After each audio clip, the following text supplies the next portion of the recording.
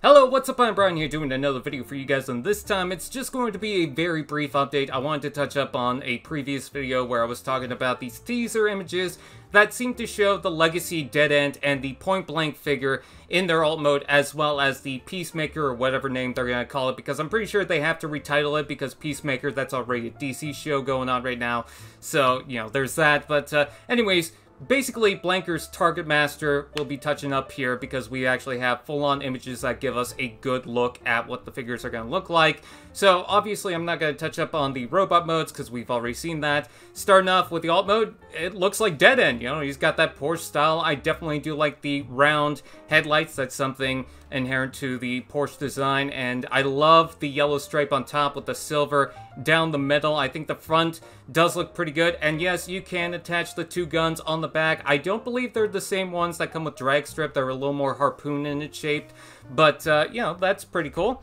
And then we also had to look at the combined mode where he transforms into the arm or just slaps onto the arm. And, you know, that looks fine. You know, it's dead end. It's parts of a car slapped onto an arm. Not really much to talk about there.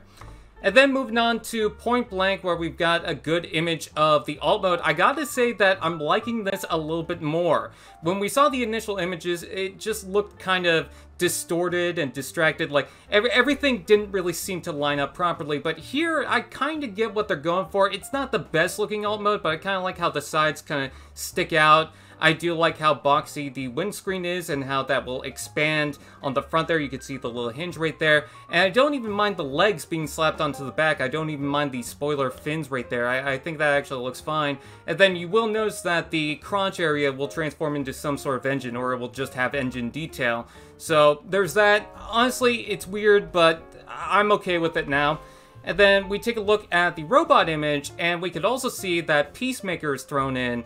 Uh, again, don't know if that's going to be the official name, but it is the Target Master that comes with him. And now, some people are disappointed that it's not exactly like the original Battlemaster figures that have been seen throughout Siege and you know, the War for Cybertron trilogy. And to that I say, I kind of get that, but at the same time, I'm actually okay with that, because this feels much closer to that of the original Target Masters. Now, yeah, he doesn't have a lot of articulation to him, in fact, he barely has any, but the way he transforms and the design seems to evoke a lot of the other weapons that come with a lot of the other Transformers, so I think that's the reason why he's just very simple.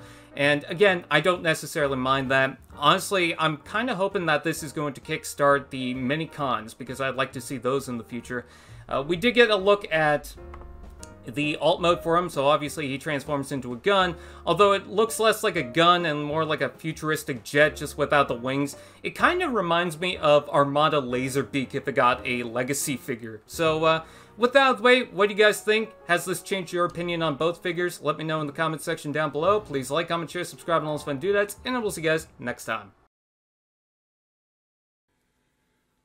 AllSpark TV. Now that's just prime.